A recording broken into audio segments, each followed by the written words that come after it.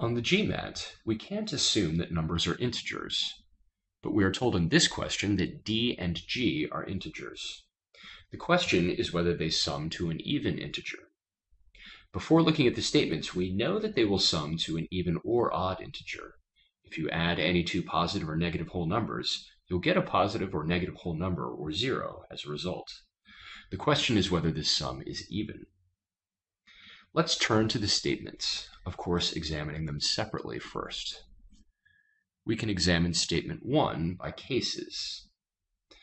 According to this statement, g could be even or odd, since the statement only tells us about d. In the former case, when g is even, d plus g is even. In the latter case, when g is odd, d plus g is odd. If this is not immediately clear to us, we can confirm it by plugging in some numbers.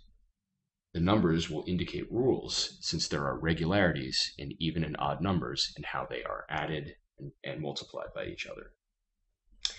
Therefore, we have different answers to the question being asked in different cases, so we don't have sufficient information to answer definitively. Statement 1 is insufficient. On to statement 2, which we can also examine by cases. Statement 2 allows d and g to be anything as long as they are integers and they are equal to each other. Say d equals 1.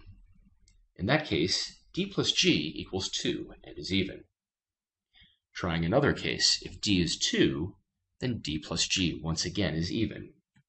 Examining more cases, we can convince ourselves that d plus g will always be even when statement 2 is true.